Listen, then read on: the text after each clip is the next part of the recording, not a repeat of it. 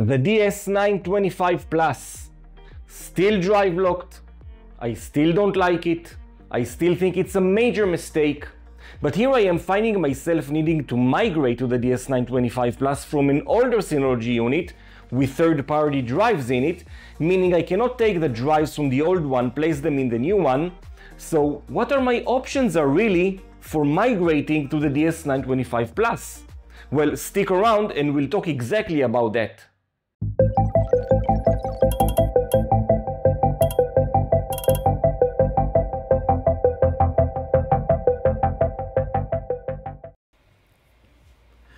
Alright guys, so just before I get started, there's a, an official sort of a knowledge base article I want you to look at from Synology and just to understand what our options are. So the first option Synology obviously eh, advocates for is using the migration assistant and I can confirm that by the way this is the most comprehensive solution and the least manual.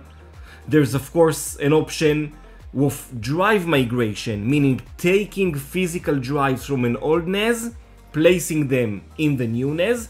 We all know that since the DS925 Plus is drive locked, this option becomes next to irrelevant. There's a third option, configuration backup, but that's not really a migration, it's just configuring uh, configuration backup, but there's a third real option hidden in the FAQs, and that's using hyper backup. But there's a bit of a complication here because other than the old NAS and the new NAS, there has to be some sort of a third location that holds the hyper backup data that you can restore from. For a lot of people, there isn't such a location, so this option becomes irrelevant for these people. But if you have this third location, hyper backup is definitely a, a legitimate way to do the migration of the data at least. So I'm going to revert or at least focus in this video in the migration assistant. But first, this is my old NAS or the source NAS. So what do I expect to see being migrated? Of course, all the applications and the configurations in them. For example, I have a virtual machine manager and I do have a virtual machine that is up and running and I do expect to see this virtual machine on the new NAS in Virtual Machine Manager. I also have a few Docker containers. Again, I also expect to see them in the new NAS in configuration in a, Container Manager, for example. Also, we need to take into account that there are a few things that I know that will not be migrated in Synology Migration Assistant. For example, network settings, IP addresses, DNS servers. If your Synology is, for example, joined to a domain, it will not, the new or the destination is will not be automatically joined to this domain.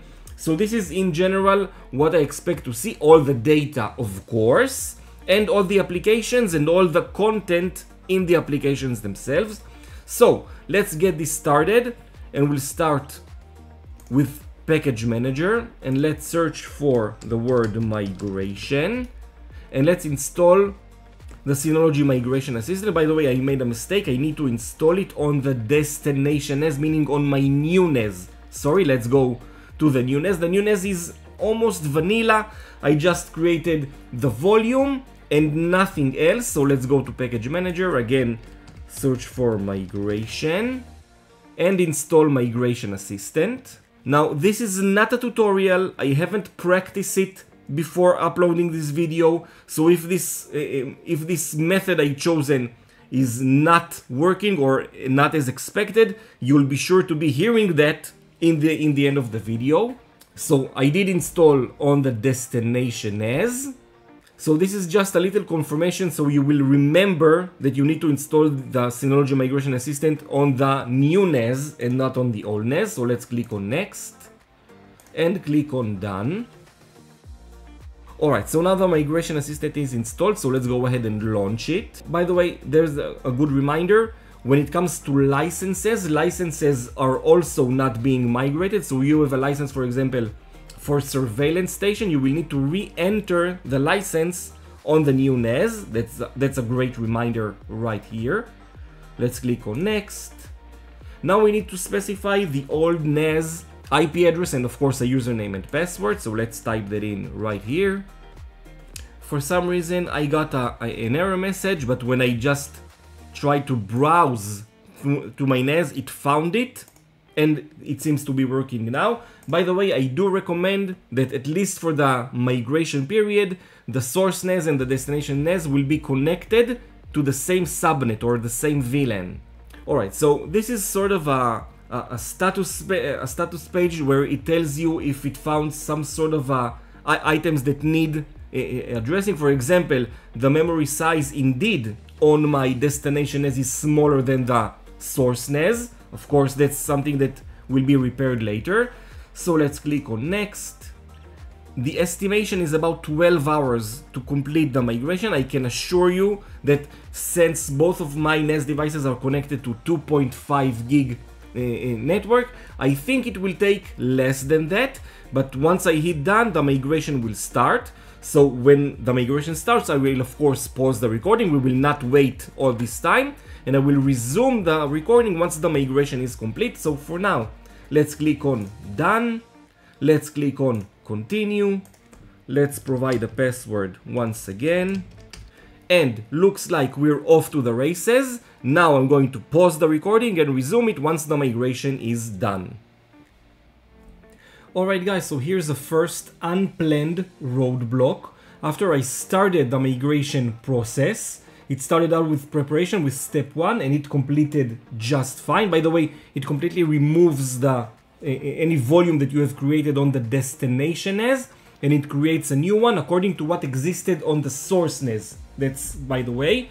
But then it got to step two to actually copy the data and it got stuck on 0%. No progress was made until after a few minutes it just paused and it said that network is disconnected. Now can I, I can assure you the network is not disconnected, the network is just fine. I tried restarting the source NAS, I tried restarting the destination NAS, I tried restarting the migration from scratch, nothing helped. I looked around online, I couldn't find any knowledge-based articles that gave me enough direction, so I opened a support case with Synology, and I will of course keep you posted on what they have to say on this topic. Alright guys, so after about 24 hours, Synology got back to me with a suggested procedure in order to fix my issue. And the bottom line is whatever they suggested worked just fine. As you can see the data the data copying is complete. And now in order to continue I will need to restart my NAS so that's what I'm go gonna do right now. But the bottom line is that the issue was caused because I had active NFS connections to my source NAS or old NAS and I did have my Proxmox nodes connected via NFS to this NAS and for some reason these connections interfere with the data transfer mechanism so if you find yourself in the same situation drop me a comment in the video and I will get I will just try to post this uh, procedure I got from Synology posted it in a comment or something, I will get it to you in some way. So now, the procedure worked, the, the destination as in, is now restarting, and after it will be restarted and, we, and we, it will be online again, I have, as I said before, a few things that I want to check other than the existence of the data. I will check all that once the device boots back up. Alright guys, so the device restarted and I, I did get some sort of a, a final step uh, configuration or a reminder that not absolutely everything is migrated. As I said, network uh, network settings, licenses, etc., etc. This is this is considered a manual configuration, but otherwise the, the migration is complete. And it seems like that all my applications that were installed on my source NAS are now appearing on my destination NAS. For example, if I open Hyper Backup, I can see that all my backup tasks are right there, which is amazing. Let's open Container Manager. As I said, other than the data, I want to verify that, for example, Container Manager and the containers are up and running, which they are, which is again awesome.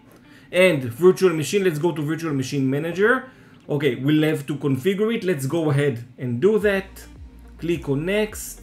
Yes, select the storage, click on next. I'm assuming this will take a few minutes. I will pause the recording and resume it once it's done. Alright, so I'm getting an error message. If you get the same, don't sweat it. It's okay. Just click on OK, click on finish. You will not see your virtual machines at this point. Go to storage and just re-add the storage. Click on start. Select your volume. Click on done and now choose to import and now if we go to the virtual machine section, I can see both my virtual machines are right here ready to be powered on, which is again super amazing. The, the, the migration itself is so smooth, it almost completely picks you up on the new NAS where you left off on your old NAS.